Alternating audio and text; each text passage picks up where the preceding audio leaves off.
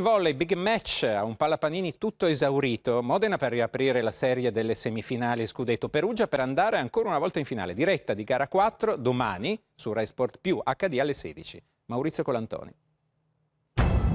Il Tempio del Volley si prepara ad accogliere la sfida. La Modena di Velasco è concentrata e convinta di poter riaprire le semifinali scudetto con Perugia, che dopo le emozioni di gara 3 è avanti nella serie. Tanti campioni contro, in un equilibrio che proseguirà anche al Palapanini. Modena sa che in casa può esprimersi al meglio, vuole ribadire la bella vittoria di gara 2 e mettere in mostra il bel gioco ritrovato. Potrà contare, spinta dal calore dei tifosi giallo-blu, soprattutto sulle giocate mega galattiche del capitano Ivan Zaitsev, trascinatore e uomo che può fare la differenza. Perugia sa di rischiare a casa di Modena e proverà a evitare la quinta e decisiva sfida, anche se come vincente della regular season la giocherebbe sul proprio terreno.